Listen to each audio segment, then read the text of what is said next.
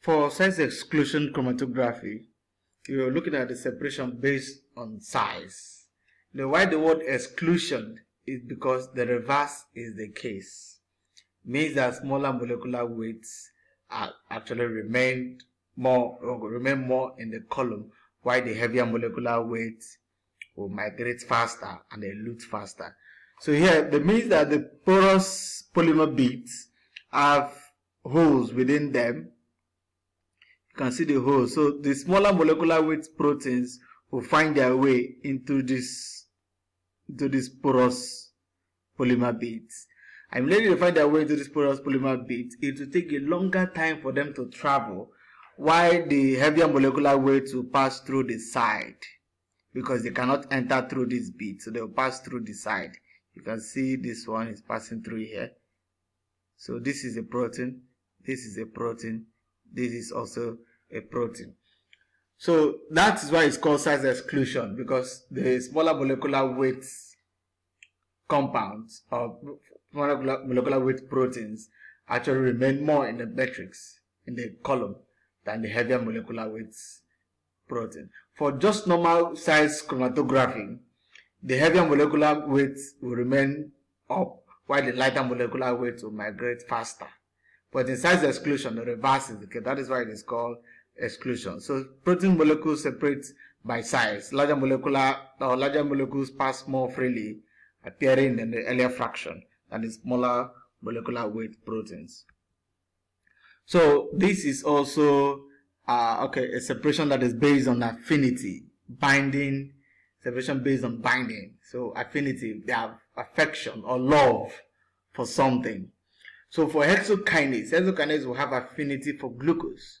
Hemoglobin will have affinity for oxygen. Uh, okay, which other one? So many other proteins will have affinity for their own particular type of substrate. So once they get to their substrate, they bind to their substrate, while others will migrate towards elution or will be eluted from the column. So here the beads, uh, this okay, this is the solution of ligand added to the column. So you add the ligand solution. Once you add the ligand, the proteins will bind to their ligand. And once they bind to their ligand, they elute with the ligand. So that's where you can see here the protein mixture is added to a column containing a polymer bead ligand specific for protein of interest. So when that occurs, they will bind to the ligand while other molecules will elute from the from the from the from the column. So unwanted proteins are washed through the column while the protein of interest is eluted by ligand solution. So yeah, that means you add the ligand solution to make it to elute faster. So without the ligand solution, the proteins here will not elute. So that's why it's called affinity chromatography. Here, where the where the separation is based on the affinity of the protein to a particular ligand. So we have dialysis. So this is a dialysis bag. This is this is a this is a beaker or maybe a cylinder that contains the buffer, while the dialysis bag contains the protein and a salt.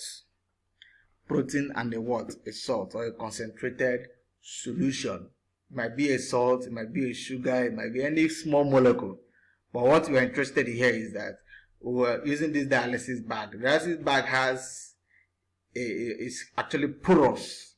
It's actually porous so that it will allow smaller molecular weights to leave the bag into the solution while the heavier molecular weight will remain in the bag. In this case, we actually use it to separate the protein from maybe a ligand or a protein from a solution. So here you can see that this is the this is the dialysis bag. After some time, it will undergo movement. Uh, uh, it will undergo movement. After some time, it will approach equilibrium, where the concentration of the salts or the or the solutes in the chamber in the buffer solution is not equal to the concentration of that same solute in the in the bag in the dialysis bag so this is a, actually this is a problem problem 17 from Lehninger Okay, yeah, we look at the salt in the protein by dialysis. Usually, sometimes when we add the salt, the salt can make the protein to lose its native state or native formation or native fold. So in order to get the protein back to its native food, we need to desalt the protein. So for we to desalt the protein, we have to put the protein in the dialysis bag such that the protein and the salt will be in the bag. So as time progresses, because the bag is also in a chamber that contains the buffer, osmosis will take place. Movement of the solute will take place. The solute will start migrating towards the buffer. Before you know it, equilibrium will be reached, such that the amount of uh, the amount of salt in the dialysis bag will not be equal to the amount of salt in the buffer. So we can remove the dialysis bag if we are if we are certain that we, we have removed you know enough concentration of the salt. But if we are not if we are certain that we want to reduce the salt concentration to a minimal point, we can actually do another dialysis, a second dialysis to further remove the salt. So look at this question. So the salting protein by analysis. A preferred protein is in a HEPS is in a HEPS which is N2 hydroxyethylpiperazine and to ethanesulfonic acid which is HEPS. Let me just call it HEPS. So are at pH of 7 with 500 millimolar of sodium chloride which is the salt. A dialysis membrane that is membrane tube holds a 1 ml sample of the protein solution.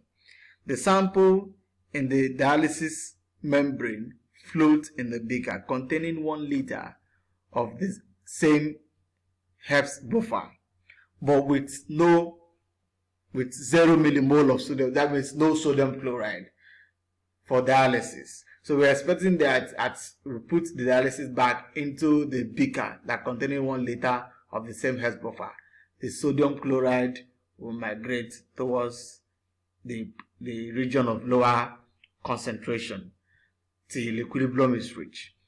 So small molecules and ions such as sodium chloride and HEPS can diffuse across the dialysis membrane, but the protein cannot.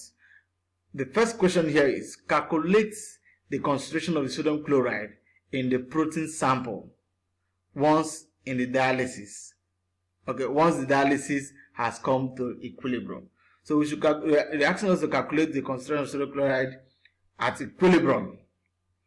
The second question is okay, assuming that no volume change occur in the sample during the dialysis now question b is to calculate the final concentration final sodium chloride concentration in the protein same with dialysis of dialysis in 200 ml of the same HEPS buffer with 0 millimolar of sodium chloride twice in succession like you're doing it two times like I explained earlier.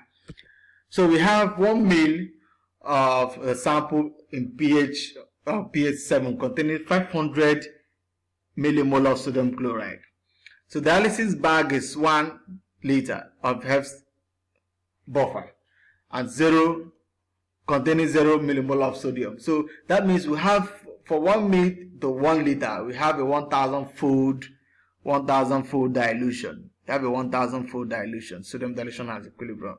So our, our answer will be 500 millimolar divided by 1000 which will give us 0.5 millimolar. So that means we have 0.5 millimolar at equilibrium. That is what it means. So for the second question, say calculate the final concentration of sodium chloride in the protein sample after dialysis in the 250 ml of the same HEPS buffer with zero concentration of sodium chloride, with no concentration of sodium chloride twice in succession. So here we have a similar case where, remember we have 500 millimolar but in this time, it's no longer 1000 mil, it is 250 mil. 250 mil. So what we have there, what we have there, 500 divided by 250, we have 2.0 millimolar. So that is the concentration for the first dialysis. For the second dialysis, which remember the concentration in the bag now is now 2 millimolar, no longer 500 millimolar because equilibrium have taken place in the first case. So for the second one, we now say the the amount the dialysis bag contain 2 millimolar